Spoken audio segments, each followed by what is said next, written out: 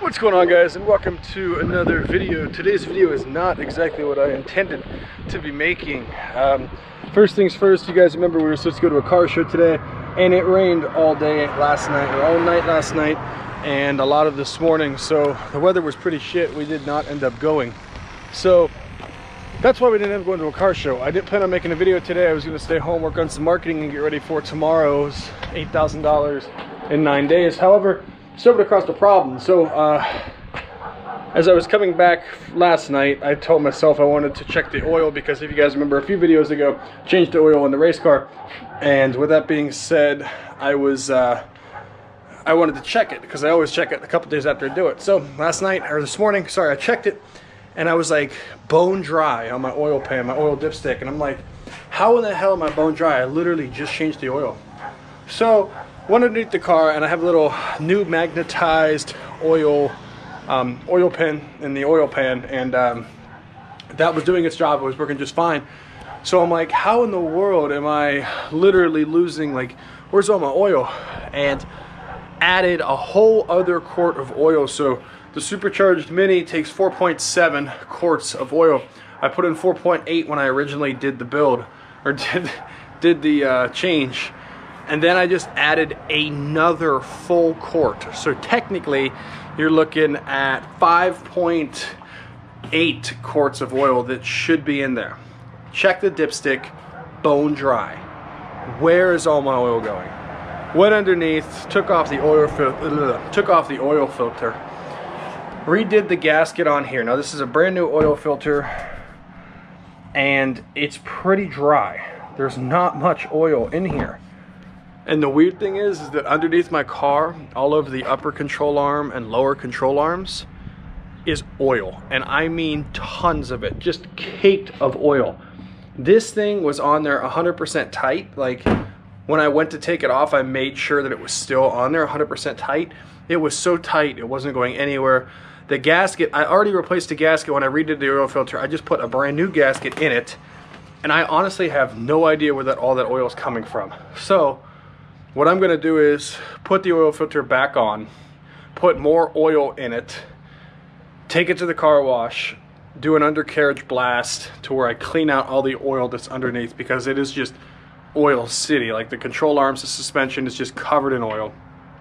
And then I'm gonna drive it around, come back, check the dipstick again, and hope that, I don't know if we had a bad gasket, if, I really don't know. Like I said, the oil filter was on there 100% tight, completely as tight as it could be. It was torqued to the correct specs.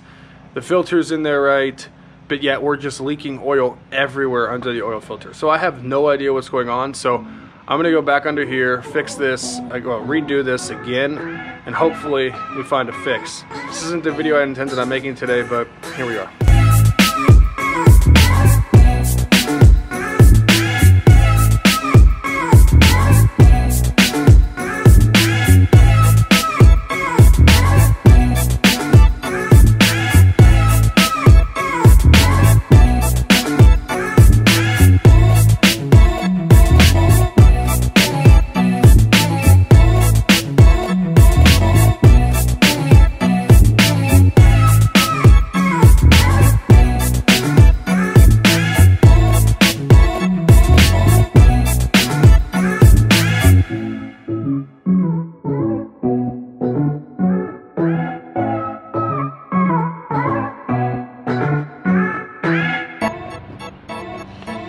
Okay, so I had to put in an extra quart and a half, and now it is to the range where it should be. So I'm hoping that it was a gasket. I don't know. I also don't know if the oil is going to continue to stay where it's supposed to be because obviously if we have an oil leak, it's not going to stay. So I'm gonna take the car down to the do-it-yourself car wash and um, give it a good spray on the undercarriage because it's just it's literally just piled with oil. And the last thing that I want is to have this thing out on track and be leaking oil all over the place for the cars behind me to run over and run into a wall. So I'm gonna go take this spray this out come back check the oil again and then hopefully check it a little bit later and hopefully we're good Like I said, I still do not know what the issue is. All I did this time was um, replace the uh, oil filter gasket. Other than that, that's all I've done. So hopefully this ends up working. Now, if you're new to the channel and you might be thinking, well, why the hell is this loser working on this car on the side of the street? Well, because in the garage we have this bad girl. 1991 Mitsubishi Eclipse GSX, currently rebuilding the motor. Literally every single part on this car is about to be brand new. It's been a long, expensive process, but it's gonna be well worth it. She's been up on jack stands for a few months now, redoing the entire cooling system, new turbo, new radiator, new intercooler, new everything, um, rebuilding the head. So that's why we're out working on the side of the road rather than right here in the garage. And then of course over here is car parts, car parts, car parts, car parts, car parts. So that's why.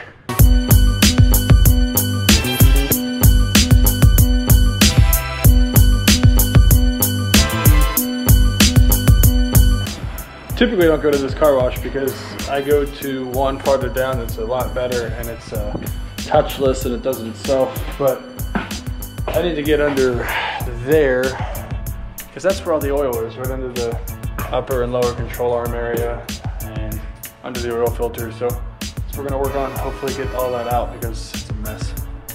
All right, so I just got home and I checked the oil level again and it's literally bone dry again. Um, I have no idea what's going on. The oil pan is fine. I'm not leaking oil from the um, oil pan at all. The oil filter was leaking. It had to be because of all the oil underneath the oil filter. Cleaned that up, put a new gasket in, put that back on, and the oil is going somewhere. I'm bone dry again. I just put another quart in to get it back to where it was. So in the span of an hour, I put another two and a half quarts in and I'm still pretty much bone dry. Really don't know what's going on. Um, I'm gonna dive deeper into it and figure out what's going on.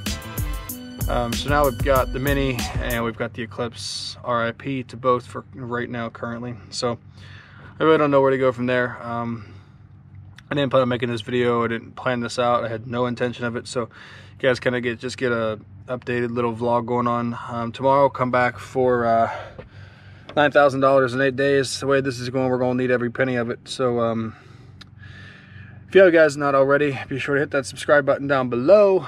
And uh, I'll see you guys back here with more broken cars and uh, more money making business ideas. So until then, I'll see you guys next video. Peace out. And remember, you create your own story.